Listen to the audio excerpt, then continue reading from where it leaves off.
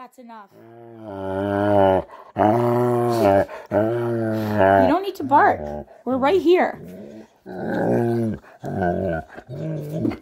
Why are you a butthead?